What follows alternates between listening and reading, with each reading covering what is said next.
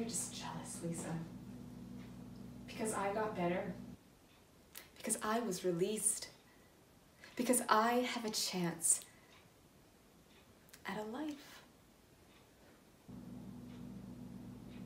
They didn't release you because you got better, Daisy. They just gave up. You call this a life, hmm? Taking your daddy's money, buying your dollies and your knickknacks, eating his fucking chicken, fattening up like a prize fucking heifer? You changed the scenery, but not the fucking situation, Daisy. But hey, man, it's cool. It's fine. It's fucking fine. A man is a dick. Is a man is a dick. Is a chicken. Valium, speculum, whatever. Hmm? You like being Mrs. Randone.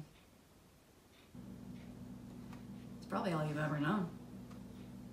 Hi. Sorry, I look so schleppy. I was at an event for my kid's school. Let me just start off by saying I think that you are a wonderful actress. Thank you. I loved you in All Over the Girl and uh, the theater stuff too. you saw the theater stuff? Yeah, I was in New York last year for my book. Oh, remind me to give you a copy. And my publisher took me. Great. Thank you. Yeah, you, you're awesome.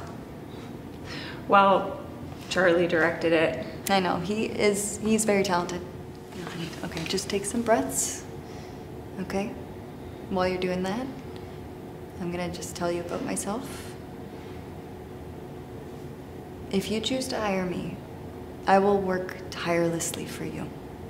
I'm always available by phone or text, except for when I'm with my kids. I insist on picking up and dropping off at school every day. I understand. I, I've been through this myself. I, I know how it feels.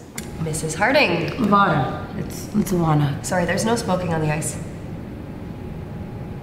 Oh, uh, I'll just oh, smoke it quietly then. Uh, this is my daughter, Tonya. Mrs. Harding, I told you on the phone. I can't. I, I know what you told me. Only you haven't seen her skate. I don't train beginners. Why does she need a fucking fur coat? I don't have a fucking fur coat.